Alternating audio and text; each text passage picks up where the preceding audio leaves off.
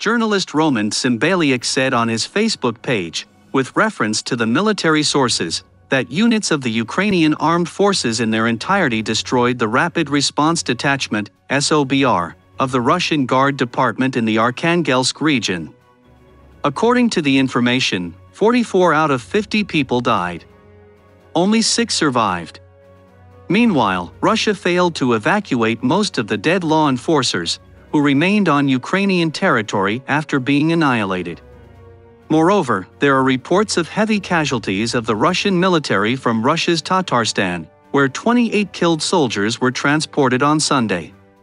Earlier, military expert Oleg Zhdanov noted the catastrophic losses of the Russian military on the territory of Ukraine and suggested that the Kremlin would soon try to declare mobilization in the regions bordering Ukraine.